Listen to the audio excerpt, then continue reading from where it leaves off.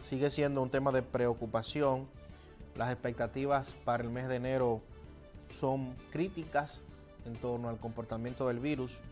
Hemos visto cómo eh, durante el fin de semana se ha dado a conocer en qué nivel está la ocupación hospitalaria, el nivel de camas ocupadas, de unidades de cuidados intensivos, de cómo están las camas para COVID, el uso de los ventiladores.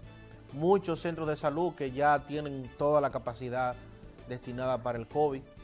Y mientras todo eso lo vemos, eh, la gente sigue teniendo un comportamiento en el que lamentablemente no muestran eh, las mejores costumbres. Y lo que vemos es que esto está desenfrenado totalmente. De hecho, estamos viendo cosas que se están haciendo ahora que ni siquiera cuando no había COVID la gente la hacía.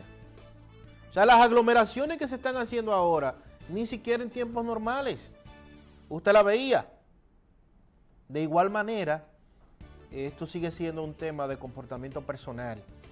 Si usted no asume su responsabilidad como ciudadano, pues vamos a seguir en este tema, lamentablemente. Y yo insisto en el tema de que usted va a sentir el COVID y ojalá no le pase nunca cuando usted vaya a una clínica y en esa clínica le digan no tenemos camas. Cuando usted necesite una unidad de cuidado intensivo para un familiar suyo y le digan no hay camas en intensivo, no hay ventiladores. Pero esa es la consecuencia del comportamiento que mucha gente está asumiendo ahora, porque cree que el COVID se fue, o cree que el COVID nada más era hasta el 24 de diciembre, que después del día de Nochebuena no hay COVID, que todavía piensan que saliendo el 2020, inmediatamente entrando el 2021 no habrá COVID. Pero no es así. El caso del teniente coronel, piloto de la Fuerza Aérea de República Dominicana, Israel Rodríguez Cruz y que ha causado gran revuelo a nivel nacional, la muerte de este oficial en Boruco, comunidad del municipio de Mao, provincia de Valverde, y que ha destapado una caja de Pandora y ha empezado a generar muchas cuestionantes en torno a su muerte.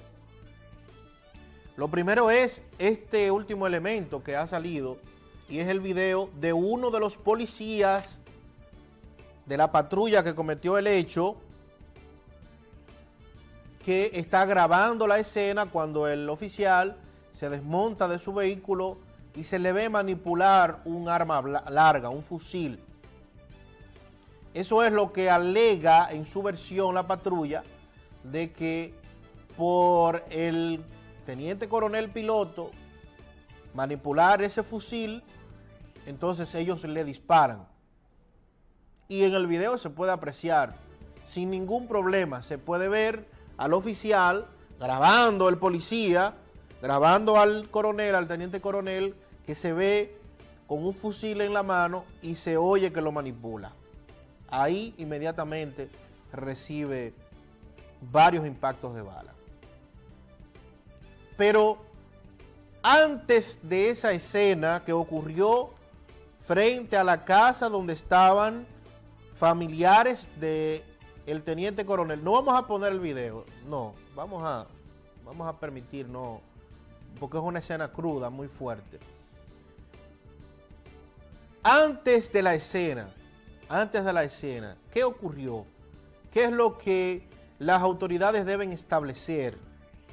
Y por ejemplo, el ex senador de la provincia de Valverde, el Yayo Matías, ha dado unas declaraciones sumamente preocupantes, pero que muestran cómo ha sido el accionar de la Policía Nacional en algunos casos. ¿Por qué? ¿Qué dice el ex senador, el Yayo Matías? Que ya se sabía y que él tiene información y que la va a divulgar en su momento de quién es el autor intelectual de la muerte de ese coronel. Que a esa patrulla de la policía le pagaron para que cometiera un acto de sicariato y que por ende pareciera ser que fue un enfrentamiento con una patrulla y que ciertamente se ve en el video que el oficial, el alto oficial, manipula su arma. Pero, ¿qué más se ha corrido como información?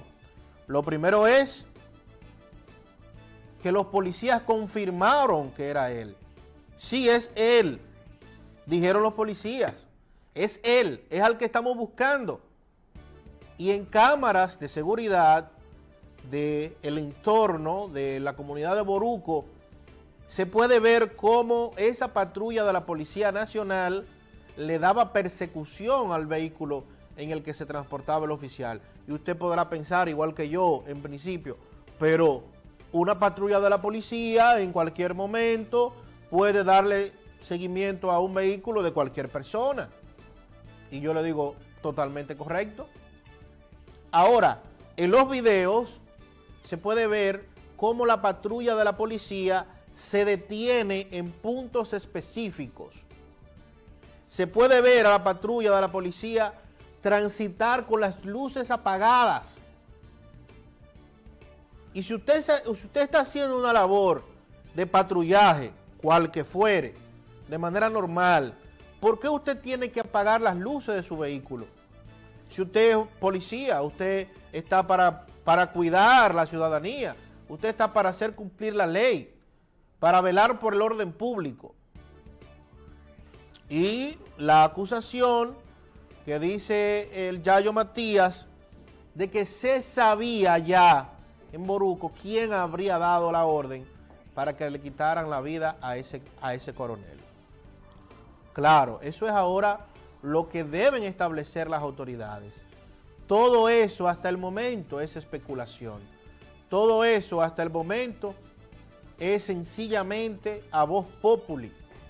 Y hoy escuchaba al fiscal de la provincia de Valverde ágilmente y astutamente decir que la investigación del caso la está llevando a cabo únicamente el Ministerio Público, que no se ha permitido la intromisión ni de la policía, ni tampoco se va a permitir la intromisión de las Fuerzas Armadas, porque la Fuerza Aérea y el Ministerio de Defensa han descrito a este teniente coronel como un oficial ejemplar, como un oficial de carrera, como un piloto, oficial, teniente coronel piloto, con una trayectoria intachable. Y decía el fiscal, si dejamos que se involucre una u otra parte, pues la investigación se va a contaminar. Y como la ley dice que el jefe de la investigación es el Ministerio Público, pues entonces que sea el Ministerio Público el que asuma la investigación. Hoy está previsto conocer la medida de coerción a los dos policías. Estaba prevista para las 10 de la mañana. Todavía pasado eh, las 12, 12.30, no había iniciado el conocimiento de la medida de coerción. Así es que en el transcurso del día podría conocerse eh, la medida o reenviarse o de igual modo le vamos a dar información al respecto.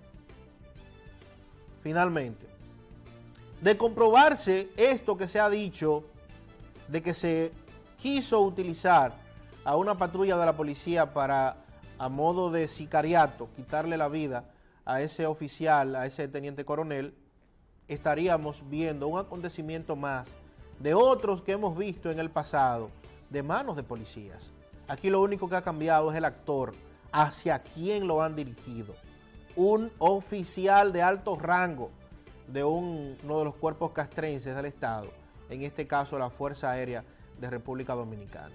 Y cuál fuera la razón, los motivos y las circunstancias, el caso tiene que debe esclarecerse y las propias autoridades deben ser los más interesados en que eso ocurra.